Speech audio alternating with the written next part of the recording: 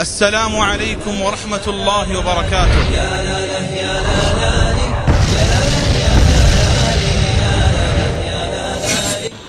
Bismillahir Rahmanir Rahim. Assalamu alaikum wa rahmatullahi wa barakatuh. Brothers and sisters, we are coming right near the middle of Ramadan. Right near the middle, halfway through the Ramadan. Look how fast the time has gone. Look how fast the Ramadan is. It's just flying by, isn't it? You don't realize how fast it's going. It's just going so fast. We're coming halfway through. Why is it, I just want to ask, why is it that we have to just lose something to realize the value of it? Why is it that we have to have a death in our family, a really close person has to die for us to realize their value? Why is it that something really bad needs to happen to us to realize our own value? Why is it that we have to lose the whole of the Ramadan and at the end of it, we need to sit down on our beds and, uh, and just ask ourselves, what did I do with my Ramadan?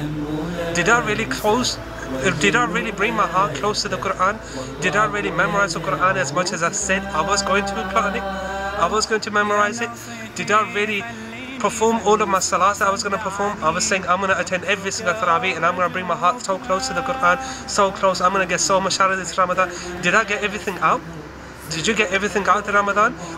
Did I even get to complete the Quran as we promised? that in right in the start of Ramadan I said I'm going to complete it. I probably even promised myself I'm going to complete one Quran halfway through and I'm going to go for two Qurans. Maybe one even at the 20th. And I'm going to do this, I'm going to do that. Did I really bring my heart so close to the Quran? It's going to be gone in another two weeks time. Just over two weeks time. Why do we have to just lose it to realize the value of it? Time. Allah subhanahu wa ta'ala swears in the Quran so many times in so many surahs by time.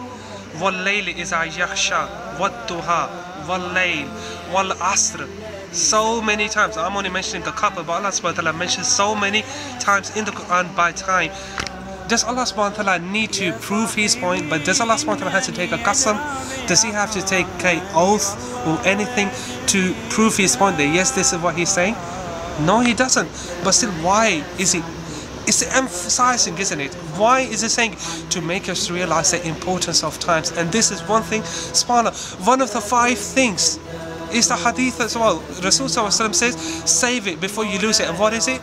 Time before it's gone. You need to save it. But we have to wait for a trial to hit us to realize, you know what, this was the time. We have to wait for the whole of the Ramadan to finish to realize, you know what, oh my God, another Ramadan's gone. Who's promised us? Who's promised us the next Ramadan? Who's promised you 14 foot 34 that you're going to be there alive? Who's promised me that I'm not going to be in my grave at that time? And what if I'm in there and I'm regretting the last Ramadan? I had the opportunity. I had the opportunity to do this, to do that. I'll give my own example. Like if, if I'm like doing my own job, I'm self-employed and I'm doing my own thing. I've got so much time and I'm not utilizing my free time. I can move my times around and I can do this. I can perform my salat in Jama'at at times. I can go to Taraweeh for the whole night. I can stay away till Fajr. It might be a different situation for you. Whatever, however you can shift it, shift that around. But are we utilizing our time? We, we have lost almost half of Ramadan. So the only point what I'm trying to make over here is think about it inshallah. What are we getting out of this Ramadan? What are we getting out of this time? Our prophets, our prophets as well, they came and it's like they didn't have to, Allah subhanahu wa ta'ala did not choose someone who he taught a lesson to Allah subhanahu wa ta'ala taught a lesson to someone and then he said, okay, this person has passed the test, I'm going to choose him to be the best. I'm going to choose him to be a prophet. No, Allah subhanahu wa ta'ala chose his prophet right from the start right from the beginning. And they used the time like Noah alayhi salam 18 1900 years of his life. Even though he only could get just over 30 people to follow him. Why? Allah subhanahu wa ta'ala chose him right from the beginning. Rasul sallallahu alayhi wasallam Allah subhanahu wa ta'ala didn't choose him, okay, you are 40 years old now, you've been good, you've been this, you've been that, and then I'm good. No, Allah subhanahu wa ta'ala chose him right from the start. He was good, al-mu'min, he was right, a mu'min right from the beginning. We don't need to wait for a trial to hit us and make us better. We need to realize right now, this moment, and not lose another Ramadan, another fast, another soul. We don't need to wait for another Ramadan.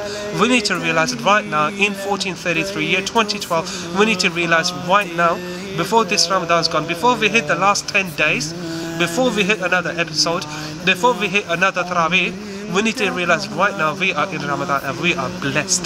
Right now we are alive. We are alive. This is one of the biggest blessings we are still being given. So many deaths are happening right now. So many deaths are there, or so many close people. They've lost their grandmothers. They've lost their fathers. One of my really close friends, he lost his brother-in-law at the age of 38 leaving three children behind. Why do we have to wait for these sort of things to come to us and then we realize, you know what, yeah, we are blessed and this and that, and then okay, we start now. No, don't wait for anything to come to you. Realize right now, you are a Muslim, I am a Muslim as well. We are in the month of Ramadan, we are in the blessed time, we are in the best of time, we are the best of Ummah, and we are the best of the creation. Realize right now, inshallah, and let's get the best best, best out of the rest of the 14, 16 days that we have left. Let's get the best out of it. Finish the Quran off as soon as you can, inshallah. In this Ramadan, try to memorize another couple of surahs that you can, inshallah. Utilize your time. Utilize your time, inshallah. Get the best out of this Ramadan. Do not wait for 1434. Do not wait for until your next year. Do not wait for 31st of December to hit the big bang or whatever. Realize right now. Inshallah, may Allah help us to realize, wake up right now right now, this moment, and inshallah may help us to realize that we are the best of the creation, that He has blessed us with the best of the religions, the best of the religion. Inshallah, Jazakumullahu khair. Inshallah, on my next episode, I've got a big surprise for you guys. Inshallah, big surprise. So catch you, inshallah, in the next episode. Assalamu alaikum wa.